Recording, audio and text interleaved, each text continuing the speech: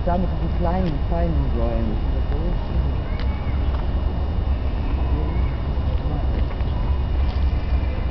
Und das sieht noch erhabener aus bei Nacht als wie über Tage. Ja, gesagt. Was?